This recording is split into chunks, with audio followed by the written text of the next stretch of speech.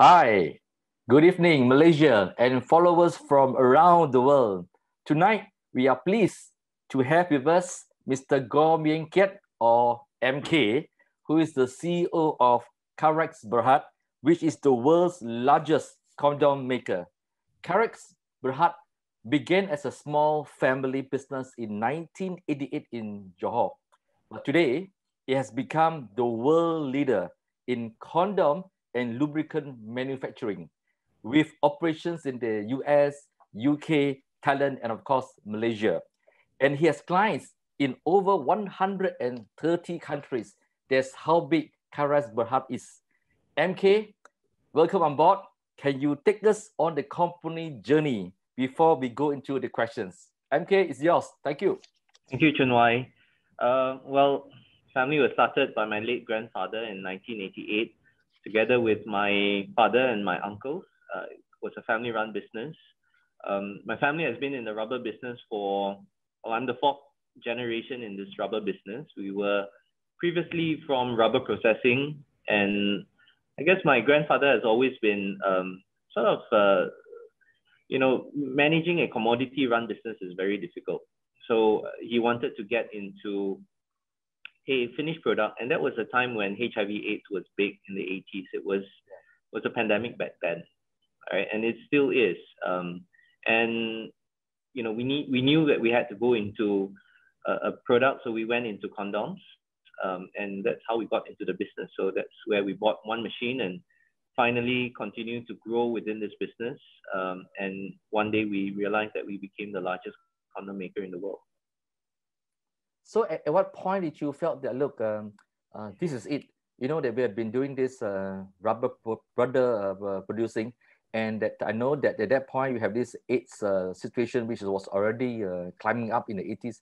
At what point did you felt that look, uh, we have got to divest our usual rubber business, and that there would have been many competitors at that point? well, uh, it was uh, very early at the stage. I was a young kid, I guess, back then. Um, and my, I always remember my father telling me that, you know, your grandfather couldn't sleep yesterday night.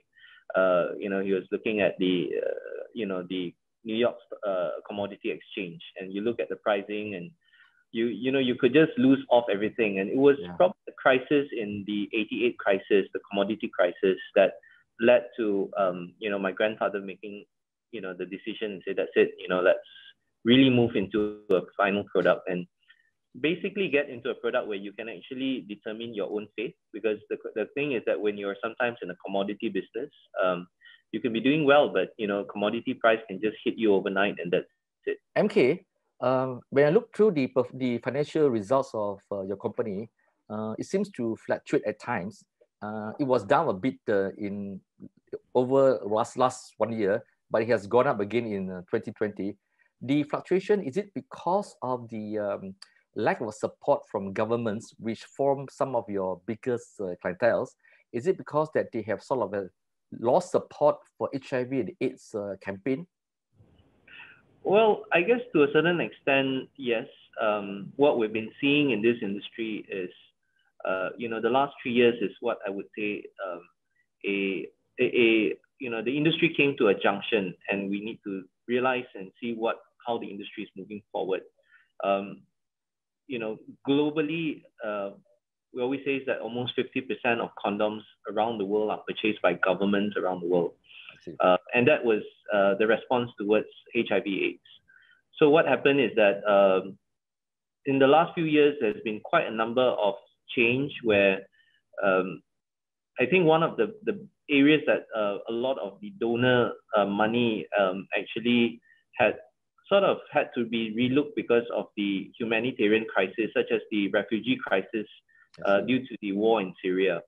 So we have been seeing, you know, migration of millions of refugees this time into Europe, and billions of euro has been spent um, to keep uh, the refugees safe in Europe, and the money had to be diverted from somewhere. And I think it's also a time where um, you know HIV/AIDS needs to be relooked at. It is still affecting over two million new infections yes. every year, but I guess it's no longer a death sentence. Mm-hmm. Uh, you know there is no cure, but there is treatment available. So, um, and it's also time where economies has changed because 30 years ago, you know, Africa was very different. Today, Africa is totally different and they can afford to buy their own condoms. So mm-hmm. I think it's um, definitely a game changer with governments moving away. But I'm really excited for the future because I think, um, you know, when government pulls out, that means the commercial market will continue to grow and uh, it will probably grow even much, much larger than before. Mm. Has there been a reduction in the supply of uh, condoms worldwide? and this uh, may help the to have profits uh, in the uh, coming years? Is there a reduction of condoms? I would say that, um, you see, unfortunate because of the government sector. So what happens is that um, we sometimes do not know what is the real demand at times. Mm-hmm. Because, um, you know, here in Malaysia, if you need to buy a box of condom, it comes in a box of three, in a box of 12, and you buy what you need. But if you're in Africa, um, if you get uh, if you get your allocation of condoms, you will get um, up to 500 condoms every three months. So the amount that is actually given, and the question is whether you use it or not, um, they would you would get that sort of allocation. So of course, in the past, um, the you know when governments were buying them, uh, you know the amount can be very big. But now, when governments are slowly pulling back, uh, even people in developing countries now have to buy their condoms. So they will only buy what they need. Um, mm. I don't see there's a trend in terms of condom usage. Mm-hmm. There will be lesser wastages, which is great. Uh, and you know, once once there is later, you know, less wastage, so people will invest in terms of buying uh, more premium products. So they will go into more textured condoms, more flavored condoms, or more ultra thin. So you know, they, they have now their choice basically. When you mentioned that uh, they, they give you a, a box of 500 uh, condoms, do they mean that uh, the government gives it to an NGO or a village, but definitely not individual, right? I mean, they give it to uh, who, who gets the 500? Individual. Individual. Who, yeah. who, who will use 500 condoms? well, in Africa, I, I don't know, the usage of condoms are, are, are huge.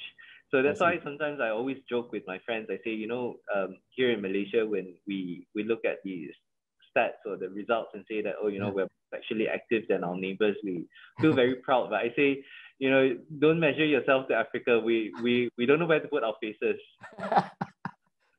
you know that, um, um, what do you call it, that um, when you mention Africa, so which uh, will be your largest uh, market in terms of countries?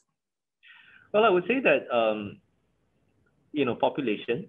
Um, Nigeria has a third of the African population. So definitely Nigeria. Uh, South Africa is, is actually very large as well because uh, they've got a very big uh, market in, in South Africa. Um, you know, government, uh, government programs.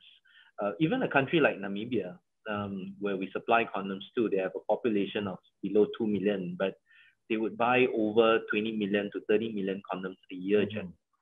So, you know, the amount of condoms there is, is big.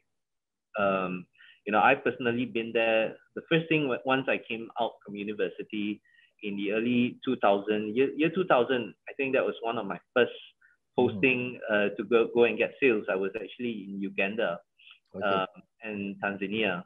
So those were the areas and it, it's really different because here, you know, you you don't really know a person who's really living with HIV/AIDS, yeah. and not very common. But when you're at the point of time when I was in Africa or in Uganda at that point of time, a third of the population is HIV infected. So it's actually uh, very serious, um, you know. And of course, I look at it as a, a sheet of condom, mm-hmm. but when you're in Africa, it's a life-saving tool. So in Africa, it will not just be a matter of selling condoms. It has got to come with an edu- educational program to tell them, look, you need to use condom. So yep. uh, who would run this uh, uh, education campaign? Is it with the support of your company, with the government, or with NGO? Who does it? Oh, it's basically a lot of government uh, who is supporting all this. Um, so if you look into um, United Nations, uh, United Nations runs uh, quite a major programs in terms of the supply but it's a lot of the NGOs that are actually running this program. So you have uh, programs, uh, NGOs such as Population Services International, or we call them PSI, uh, DKT, uh, Marie Stopes uh, International, which is a UK base, and they would get a lot of funding um, from the US government, uh, EU governments, um, and of late there's been a lot of philanthropies that's also coming out with support. Um, so the Bill and Melinda Gates Foundation is a major supporter of the HIV global HIV/AIDS program as well. So, which means that in the cities in these uh, countries, if they live in a city, they would just go go to the shop and buy, like in Malaysia.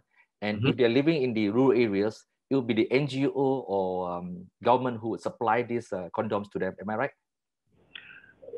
Almost, I would say almost 95 to over 95% of condoms in in those African countries are almost given up for free. So, so free. Um, free. So if you walk into a um, if you walk into any uh, government clinics or even government offices uh, in Africa, uh, you would go to the male toilet and you will mm. find boxes of condoms there, oh, uh, okay. like tissue paper. You, oh. You'll find like tissue paper here, and you can take whatever you want. Um, oh. So happened, I was actually speaking to a very senior um, uh, officer at Khazanah one day, and they were, I think they were in Ghana, and um, you know they had a meeting there, and they they went to the toilet, and he actually told me, he says, you know what, I went to the toilet, I didn't see anything, but I saw this word says Karex Pontian. okay. You know, and you know he was he was impressed because the fact that he was in the middle of somewhere in Africa, so remote, mm-hmm. and um, he saw a Malaysian made product in the offices there. So mm-hmm. you know that was a moment that I, I, guess you know made me proud as well. You know, absolutely. It's, uh, yeah, it's uh, something that you don't expect. Yes. In terms of uh, your competitors, what countries uh, are they located in? Well, um, I would say that Thailand Thailand is actually a major competitor today uh, due to the fact that Thailand is today the largest uh, rubber producer in the world. Okay. Um, and China is actually uh, quite a large producer. And the I fact see. that why China is also because of, uh, you know, pre- historically because of their one-child policy. Yeah. Uh, and also due to the fact that population, you know, is the most populous country in the world. Obviously, the need for condoms is large in, in, yeah. in China. Uh, same goes with India as well. Yeah, okay. So uh, Malaysia, Thailand, India, uh, China are major producers. Uh, we have a few producers. We find some in Japan, um, but the Japanese tends to be very niche. They mm. tend very thin condoms. Um, I see. They they have a, a, very own market itself, and I always say that uh, one of the largest of per capita usage of condoms, highest in the world, used to be Japan. I see. Yeah. Um, so it's very interesting as condom makers, we always look at the Japanese market to learn quite a few things from Japan because um, Japan did not allow the use of contraceptive pills until much, much later. So condom was almost the only method of contraception uh, available in Japan. So I will presume that in a case of uh, the Indian and Chinese competitors, they would have to import this raw material, rubber material, to have it manufactured in these two countries? Uh, mainly more for China, but India has their own plantation. Ah, so okay. look at the southern part of India. I think India is one of the top five uh, producing countries of rubber as well. So uh, India do have their own materials. I see. Now, um, how do uh, your your company uh, become the uh, biggest uh, condom uh, manufacturer. And when you tell people that, look, uh, we are the largest uh, manufacturer, are they surprised that, look, Malaysia is a conservative country and that uh, Malaysia is uh, doing so well through your company to be the flag bearer in terms of condom manufacturing? Are they surprised? Yeah, I think there is a lot of surprise. Um, you know, people think that you are in a Muslim country, you know, mm-hmm. you, you know, you don't talk even about condoms. Um, yeah. But how, how did we become the world's largest condom maker? Um, I, I, guess a lot of uh, uh, you know experience in rubber has helped us initially with the initial uh, you know start in getting into condoms. But how did Karex actually became the largest? Um, we, we actually built our own machines, uh, Chun So okay. if you would come down to our factory one day, you'll actually look at all those machines and they were all self-fabricated. So, um, you know, we started very tough in this condom business. Um, in fact, at a point of time, uh, you know, my family lost everything just to support the business that the factory was my house. Um, oh. So it was it was tough. Uh, I, I I worked there uh, as a kid. You know, I always say, tell people I'm, I was one of the child labor there uh, of Karex, um, and you know we had to we had to do many things, and we had to innovate this business because you see, you know, condom has been around for over hundred years. Mm-hmm. Um, it was not until the 1950s where they learned how to lubricate a condom. Mm-hmm. So before 1950s, condoms were not lubricated. So you know, I always have this joke that says, "I cannot imagine how many women was was probably screaming then." you know, but then we realized that because of HIV/AIDS, condoms became more and more popular. Uh, and to attract people coming to use condoms, that's when you start to make condoms with colors and you flavored the condoms, you texturize the condoms. Um, and that was when people started to come to us and they asked me and says, hey, you know, in the early days, my uncle, they asked my family and says, can you make me a condom that glows in the dark? You know, uh, can you make me a condom that changes color? So I remember when I was a kid back then, I was in the factory and I was one of my projects that I was sort of looking at was, you know, uh, we were producing a color changing condom. Mm-hmm. It was uh, the first dip you dip in a purple colored uh, in a purple color latex, and the next one was with this chemical that changes color when it becomes hot. Ah. So, uh, then you know when it becomes hot, it just turns transparent, so the purple color comes out. So it gives you the fact that you know it, it's changing in color. So there was people who came to us and you know asked me and says you know those days where um, you know MC Hammer was popular back then um, mm. and says, can you make me a condom like MC Hammer's pants? That's really big. yeah, so you know the it, it became really like a, a fashion. You you know you it, people wanted to innovate because what I've seen in the uh, in the 90s was a revolution. Uh, you know, mm. and, you know, condom was moving slowly moving from a safety product and moving to a pleasure product.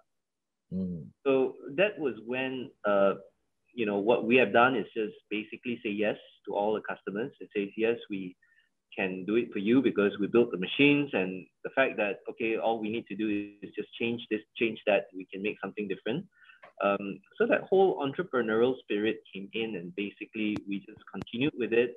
Uh, we're very focused in terms of um, building volume as well. At the point of time, we, uh, the fact that we can make our own machines, it was cheap, you know, so we we had to make machines that are simple enough that you know our workers know how to use them because you know it's really no point like yeah. going to buy a German machines with all these buttons, but you know your workers don't understand them. So uh, the, the secret was just make sim- simple enough products. People understand how to make it. And when it's simple enough, it's how do you replicate and make sure that this model can can expand. So we expanded on that model, and um, finally one day we just realized that one in every five condoms in the world is made by us now. I see. Well done. Thank you. MK, uh, who were these early clients who wanted uh, condoms that glow in the dark and that can change color? Were they uh, local or were they foreigners? Foreigners. I see. Um, the Americans were very, very innovative. They um, wanted something different uh, because you know you uh, some of the Europeans as well uh, they because you know they were the early ones who was exposed to mm-hmm. all this new technology, and they wanted something different. Um, so that's when they came and says, "Oh, you can make a color uh, a condom that glows in, at night." Uh, it was interesting, uh, especially during Star Wars period. You know, I the condoms was many people's lightsabers. Hmm. So, would are, are, are these condoms, these glow the dark condoms, are they just a novelty or they're actually a big volume of uh, what they call it, the sales from this type of condoms? Um, it started as a novelty. Mm-hmm. But what we did was uh, we made sure that it we commercialized it, um, mm-hmm. and they were uh, we, we saw some of this. You could probably find sometimes those glow in the dark in some of those uh, condominium shops around the world, right? And Mhm, the, yeah. a lot of them were novelty. But what we invested was we we really looked at the whole manufacturing process, and we made the first FDA approved glow in the dark condoms. Um, and initially, when we were first discussing this with uh, our client back then, it was only Mhm. looking at a projection of a million condoms. Mhm. I think we've done maybe over 20 million condoms. Wow.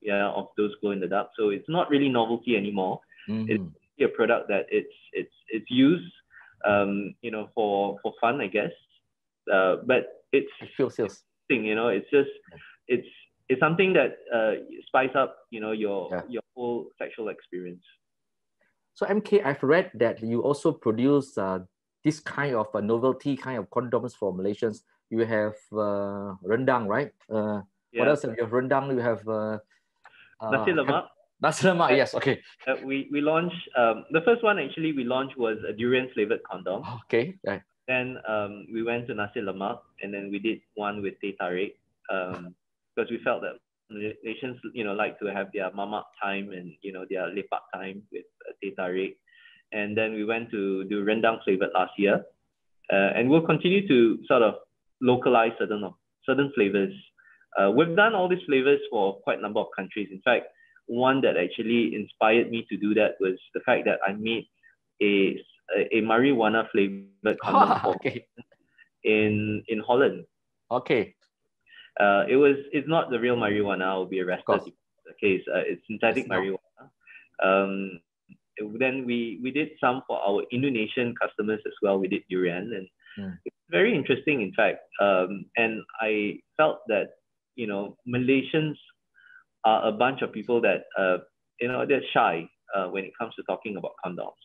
And I personally, you know, been to multiple events at times. Sometimes you go to an event, you sit with, you know, a bunch of people on a round table, and they, then they start asking, "Oh, what are you doing?" You know, and um, the next thing you say is, "I'm making condoms." Uh, you know, sometimes people hear me and says, "Oh, you're building condominiums." so you know, and then then they realize, oh, you know, I've asked the wrong question. You know, of course, there are a lot of people who are more intrigued with what we're doing. Um, Mhm. and that's where all the questions start to come in. But generally, I would say that um, you know, it's I, I think condoms around the world um, that it's still a taboo. Uh, you know, like it or not, um, people find that it's not very easy to talk about. Um, and in fact, uh, you know, condom is one where uh, almost it's, you know, statistics wise, if you walk and you talk to someone in the supermarket, uh, it's the high, it's the one that is most highly shoplifted. oh, I see. Okay. Yeah, so much so that uh, people put condoms behind the glass counters. And Yeah. then, you know, you look into it and says, who the hell would then buy in front of, uh, you know, Gotcha. behind a glass counter? You have to call Yeah.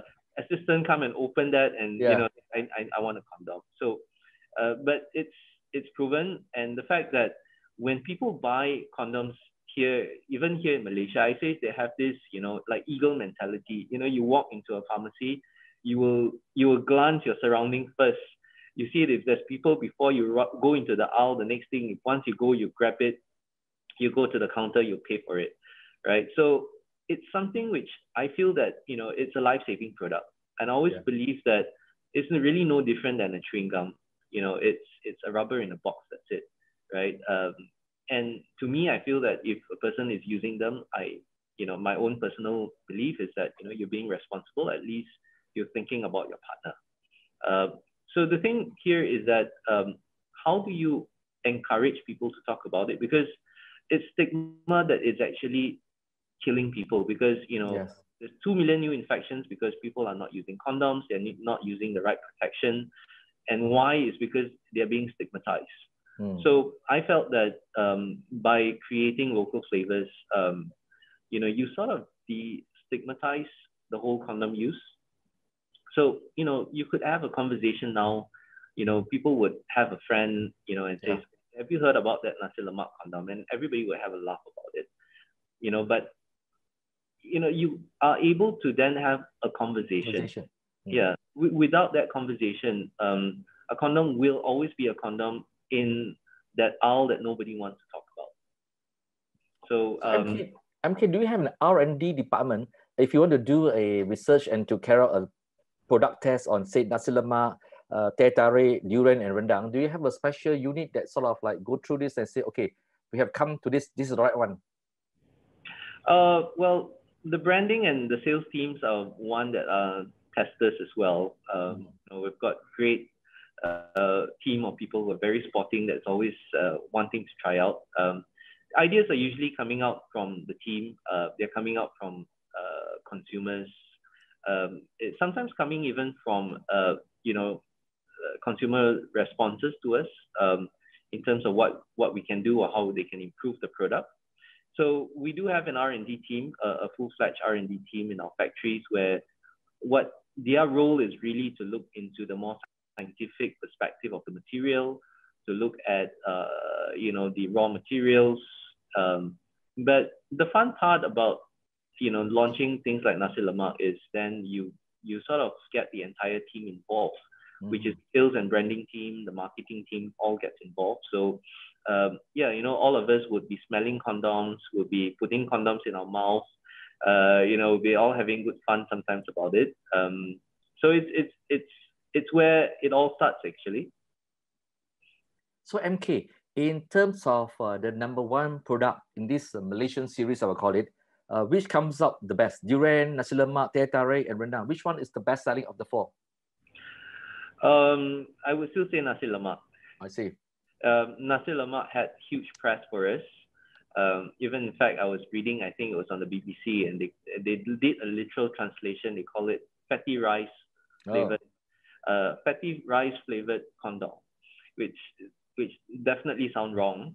Uh, you know, it's it's not nasi lemak, you know, but um, it had a lot of people talk about it mm-hmm. because what we did was not just just the flavor, but we made the condom hot. So there was oh. a warming lubricant inside.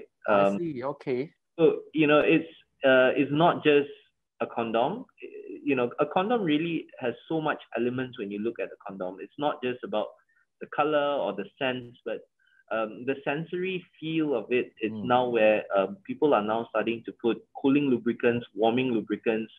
But you know, when I talk to people and say a warming lubricant, a lot of people don't understand what a warming lubricant is, because people will say, "Why do I want to feel it warm down there?" Right? But then suddenly when you tell them about nasi lemak or rendang and you say, mm. oh, you're going to feel like a rendang is going in there, right? Mm. And then, uh, you know, then that's where people have that laugh and they would have the conversation. And then that's when we can actually tell them and explain to them why um, it will feel more natural, uh, probably with a uh, warming. So the same uh, in down down in uh, Singapore, you export to Singapore as well, right? Um, not yet of the Malaysian favorite ones. Uh, they are our distributors are definitely thinking about something for Singaporeans. They are thinking they're trying to uh, build their own uh, you know local flavors. Mm. So don't know which one they want to choose or which one they want or which one they want to place stake first. Yeah. Tell me about your production facilities in outside uh, uh, Malaysia, in Malaysia and outside Malaysia. Um, well, our largest plant actually is right now in Hat Yai. It's mm-hmm. in Thailand, in south of Thailand. Um, we have three locations here in Malaysia. Uh, we actually started uh, in eight, 1988 in Johor Bahru. Uh, I'm a Johorian myself. Okay. Um, and we then moved down to Pontian. Uh, we closed down the factory in JB because the cost was too expensive in JB. Um, and we have been in Pontian now for over 26 years. And um, from there, uh, we acquired a German company, uh, uh, you know, the company that makes Nivea creams and Hansaplast. So they had a, um, they had a factory in Johor in Senai, and we bought that over about four years ago. Then um, we had a factory, and I'm actually based in the Port Klang factory uh, here in Selangor. Um, and from there, we expanded in 2005 to Hat Yai, and we are expanding our facility in Hat Yai because partly the fact that you know raw materials are very easily yeah. available in Thailand. Mm. Um, and beyond that, uh, other facilities that are mainly the US and the UK facilities are mainly more in terms of packaging. because um, we do a lot of products where we supply the NHS, the National Health Services in the UK, um, and they are being uh, packed all in the UK. Uh, and the US is packed for the US market, uh, for the Planned Parenthood clinics and to the health clinics in, in the US, and also to supply to all our uh, clients in the US.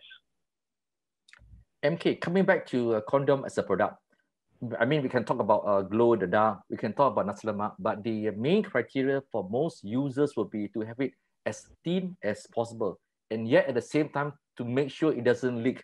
So how do you ensure and keep up with this trend, decreasing thickness and ensuring safety? A lot of R&D work has been put into it. Um, you know, looking into the raw the material itself. Um, today, the thinnest condom that we make it's already half the thickness of your hair. I see. Um, you know, your hair, an average hair is about 70 microns, uh, 75 microns. And today, uh, the thickness that we, the thinnest we go now is in a range of 35 to 38 microns. Um, there is a lot of tests that need to be done uh, to ensure that it's safe, that it will not burst during use. And it's not just sometimes about the raw material itself. It's also in terms of lubrication, how do you get the lubrication all the way throughout, evenly distributed throughout the condom? Um, and, um, you know, physical testings are very important. So uh, before a product is being put into the market, uh, you need to test them, you need to air inflate them. So a typical condom, even if you're looking at an ultra thin, would have almost up to over 35 liters of air that you can fit in a condom. So you can imagine it's really, really big. Um, you know, it can actually even fit an elephant uh, oh. penis sometimes, uh, you know, if you think about that. Uh, so it's, it's huge. Um, and we have to do a lot of study. So you can't just put a market because condom is a medical device and it's not just any medical device. It's the highest non-medicated medical device. Mm-hmm. Uh, it's a class 2B medical product. So um, that's where you need to uh, get the products and you know you have a shelf life of five years uh, you know condom has a shelf life of five years so you need to test them and make sure that it, it it's able to withstand uh, all these tests um, and one of the, the the toughest tests that we would do is that we will put a condom in an oven for oh.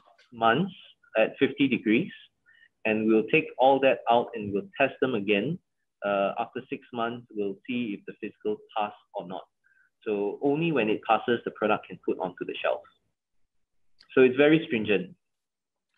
Uh, users will always want their condoms to be as thin as possible. But uh, have you heard of this paradoxical uh, situation where men want it thin, but at the same time they want to be doubly sure and they wear double layer? Is there such a thing? Yeah, it's it's it's a it's a bad thing if you wear double condom. In fact, um, you know, if you wear two sheets of condom, uh, I can assure you that it will break faster than using just one I layer. See. Okay. Yeah. Why, Why is, is it so? Yeah. Yeah, it's because uh, when you have two two rubber rubbing to, together, you get more friction. I the see. friction okay. will actually break the rubber. I see. Yeah, so I always tell people don't use two layers of rubber. In mm. fact, when we make a, a condom, there is a minimum of two layers of rubber there already. So we already made two rubber for you. It's a it's a laminate. Uh, we already have done two layers there. So don't wear two more layers.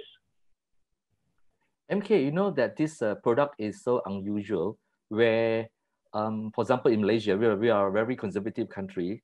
Uh, Malaysia, we have the largest condom manufacturing plant. And yet at the same time, the regulators do not allow the, the advertising of condom in uh, print media, and I'm not too sure about online. But yep. uh, so how do uh, brands like you uh, promote or to sell it? Do you need to do branding or to advertise in other countries? And do they have regulators like in Malaysia? Yeah, actually, um, I don't think Malaysia is the strictest. Um, in fact, actually, Thailand is even more strict um, with with even condoms. You know, uh, to think about, we think that Thailand is so liberal. Yeah. Um, because it's a medical device. I think how they look at it, it's a medical device. Um, and when you sometimes advertise on medical devices, there are rules and regulations because it's safe, it cannot be safer. If you say it's safer, it has to be backed by a clinical data or clinical study. So, um, you know, I, I, think where we have to put in sometimes our uh, advertising is um, not through the direct way of a print media, but um, I think it's through our innovations where, you know, when we make, let's say, a nasi lemak condom, mm-hmm. uh, rendang flavored condom, that's when people get excited. Yeah. That's when media will cover for, for us. Um, and that's when it's, although it's a time that basically you can put in or you can then associate it with, you know, uh, things like World AIDS Day, mm-hmm. uh, where you can talk a lot more about condoms in the perspective of HIV AIDS. But sometimes I also don't like to just only talk about HIV AIDS because mm. you don't want to scare people to use a condom. You want yes. people to use it because of pleasure, not because of fear. What about in the Philippines? I know that you know you have this uh, very conservative Catholic uh, background there, where yep. they don't encourage the use of contraceptive, and yet the population is really exploding in the Philippines. Uh, how do your guys uh, promote this product in the Philippines? Uh, in Philippines, we have actually been working with the NGOs, um, and we know that it's it's very tough in, in Philippines. They always come to tell us how tough it is because when they come out with a program, um, it's the church, it's not the regulators. It's the church that that that that clamps them down, and the pressure that the church puts sometimes would stop certain retailers from even pulling out products off the shelves. Yeah. Um, so you you know it's a product where you want people to have it, but it it has to be very subtle in terms of branding and marketing. At times, in certain markets, um, you cannot just be shouting all the time. You you need mm-hmm. to be very, and I think it's today you can be very tactical, uh, targeted in terms of your advertising. Uh, and I think the great thing about online media today is the fact yeah. that you know, with the use of social media, you could now target uh, the users uh, better. Yeah. Uh, since the COVID 19 uh, pandemic, we had this MCO, has it affected your production and supplies? It has affected um, supply chain for sure. Uh, it affected us uh, from the moment MCO was, was announced, from the 18 all the way, the, the half, well, half of, half of March, we had to shut down the factory. Um, and then we got the MITI approval, um, but we only got to run at 50% capacity. So we were running 50 capacity, 50% capacity for the entire month of April. And then only came May, uh, things started to slowly come back. But when we start to come back as well, um, you know, our suppliers, not all of them were back yet. So See. some of them were still um, slowly coming back. And you can imagine it was very difficult times uh, to manage. Uh, and we don't realize how important supply chains are because we always have taken that sort of for granted that, you know, make a phone call, your paper box will come, your raw materials will come, but then suddenly you realize that mm. you myself, when I leave my home, it's, I feel like, you know, I, I have to go through multiple roadblocks and, you know, explaining to the police about, you know, why you need to go to the office. How many workers do you have in Malaysia and around the world? Uh, across, we have today over 3,300 employees. Mm-hmm. So in terms of uh, this COVID-19 situation, have you started to move away from, move on to other products like uh, uh sanitization and uh, perhaps even? we, we, we did very immediate was uh, right at COVID was we started our sanitizer mm-hmm. factory. well, we, we had already actually the tanks and all that when we've been making um, we've been making lubricant. So it's almost the same facility, and we have all the uh, tubing and the uh, bottling bottling facility. So one thing that we did was, you know, well, I think what's important is how do you respond to your community yeah. Uh, who is in need of certain materials, and that's what we did was we quickly came out with a sanitizer. Uh, we had a lot of uh, we had the use of uh, alcohol as well. So we looked at it. We had a lot of raw materials to make a hand sanitizer. So, you know, we we we think that that was the right thing to do at that point of time. Um, we proceeded with the project. So that's and, where uh, we came with hand sanitizers and uh, and of late as well. I think the next thing that we announce as well is to go into gloves. So gloves is another response that we think that uh, will help us um, improve our offerings uh, as an organization. So while I think Karex is known very much as the largest condom maker in the world, uh, but we are also into uh, other uh, medical devices as well. So one of the things that we do um, quite a bit is we produce Foley balloon catheters. So uh, a Foley catheter is basically, I guess, when you see a person coming out from hospital or mm-hmm. during hospitalization, you, you see a urine bag when a person doesn't go to the toilet. So we make that tube that connects the bag and your into directly into your bladder. So it's an internal tube that goes into the body. So that's a, a, part of medical device that we, we manufacture. And it's also part of the uh, sort of products that we've been doing for probably over the last 20 years. Um, the other product that we do as well is that um, we do a lot of probe covers. And um, we have actually been seeing quite a number of increase in probe cover use of late. Sorry, what cover is this? Probe covers. Uh, probe. So they are basically used by gynecologists. I see. Um, they, uh, many years ago, a lot of doctors had been using condoms uh, to cover these uh, ultrasonic probes. Oh, I see. Okay. By gynecologists, uh, when you know those machines are probably over a million ringgit, and you mm. know when you do an ultrasound probe, you want to cover you want to cover the machine because you, mm-hmm. you, you, know you don't want to dirty the machine. Okay. Uh, the person who uses it will be easy to just change that, and uh, of course, if it's the probes are now changing in sizes, um, and you want a actual proper cover that covers the machine. So a lot of these uh, probe uh, manufacturers come to us to make the covers. So we've been doing quite a bit of that. And of course, one of the things we realized as well is that a lot of doctors are now starting to use that to cover their stethoscopes mm. because of COVID as well. Uh, yes, um, yes. They want to cover uh, the stethoscope so that the next person they, they touch with, you know, mm. sort of clean and they don't have to sanitize it. Mm. So, um, and the next thing, you know, we also realized that, you know, glove is a, potential item. Um, yes. A lot of people has been asking me why are we not doing gloves for the fact mm. that it's medical, it's, it's a dipping process. Um, you know, you are, we're, we're familiar with it. In fact, glove is actually a lower classification of medical device. Uh, it's only mm. a one, so it's actually two levels lower than a condom. So the certification is much easier to achieve. Um, and actually, Karex started in 88 with actually the intention at first mm. uh, start with a glove line, but we didn't activate it.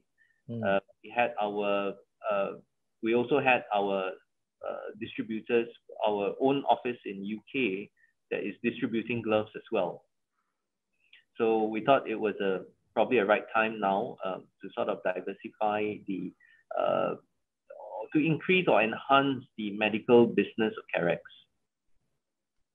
MK, I, uh, you know, like Karex, uh, which uh, had gone into uh, glove manufacturing at one point, and then sort of the stop it. There are a lot of other uh, tycoons in town which also started their rubber glove uh, factory years ago, and they yeah. found that the, the profit margin was actually very low. Is that the reason why many of you guys said, okay, let's put a stop to it? Yeah. Okay well, it's it's definitely at the point of time margins um, mm. actually been very low. But I think one of the areas that I've looked at uh, at the glove uh, uh, industry is that it's it's always been you know the big utilization of glove has always been in hospitals. Mm. but one of the areas I think would definitely see a change post COVID um, would be how this product would be a lot more uh, not all of it, but a, a portion of this business will be skewed towards a consumer product. Yes. Um, you know, like it or not, we would next time, even after COVID, might have face masks in our house. Yes. We would use hand sanitizers more more often, mm-hmm. and we have a box of, of gloves at home because we do not know when we will, will need to use right. it. Um, hygiene is, is, is important. So that's where um, you know, Karex definitely is, uh, you know, growing within the consumer business, uh, and we understand the consumer business well enough yeah. that we'll focus part of the business. So, you know, our intention is not to be a large glove player, but we believe that um, you know the glove facility will enhance our existing product range in in, in, in, in medical business, and also to then focus also on the consumer side of gloves, uh, which we believe that there is a lot and huge opportunity to grow there. Uh, so MK, what is the CSR uh, functions in your company? Well, um, you can see that we work with a lot of HIV/AIDS, uh, you know, organizations with the NGOs, um, and over the years, I myself, um, you know, you know, it's it's very it's it's a topic that's very close to my heart. Mm-hmm. What I've done uh, is that, you know, we have actually started um, a program in Malaysia called Arts Against AIDS. Uh, this year will be our sixth year running the, you know, Arts Against AIDS. So what I've done is that, um, you know, I think from the topic that we've spoken earlier about education and, you know, Malaysia being a conservative country, what, what do we do? Um, so we have been running a program with art students. Uh, we go to universities and we get them to join our Arts Against AIDS mm-hmm. uh, um, uh, competition where, uh, you know, the students will win something at the end of it. And we will auction off all these paintings uh, or for sale and the proceed of this money goes to uh, charity. Uh, and not just any charity, but um, I'm actually supporting the minority groups right now. Mm-hmm. So if you look at HIV AIDS um, in Malaysia, you will see that um, it's actually on an upward trend, mm-hmm. especially if you're looking against uh, you know HIV through transmission through uh, sexual activities. So many years ago, um, you know, the injecting drug users are actually a major uh, contributing to the data and statistics of the upward trend. But a lot of things have, you know, I think we've got our act right in Malaysia when we uh, introduced the harm reduction program. Mm-hmm. So what they have done is that they have actually been giving free needles um, and governments authorities has agreed not to prosecute, you know, NGOs who are going out and uh, giving drug users, you know, new needle, new needles and all that. And of course, drugs has also changed now. A lot of them are now moving towards designer drugs and all that. So not lesser injections. So we are seeing uh, a huge uh, improvement. But over 90% of all cases now in Malaysia of HIV/AIDS is through sexual activities.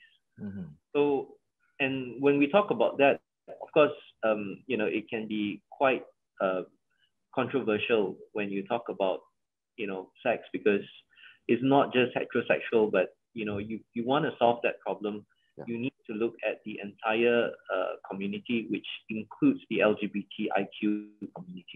So where, um, you know, as an organization myself, I have been supporting uh, transgender homes. So there is a transgender home I support um, and we help build right after fire, which is called PKKUM, uh, Seed Foundation, uh, PT Foundation, the Pink Triangle Foundation, who works uh, with the MSM community.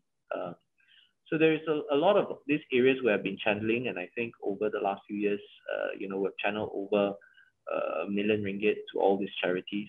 Um, mm. um, and you know, we will continue to support this because we believe that if we want to solve the problem here in Malaysia, you need to look at minorities as well.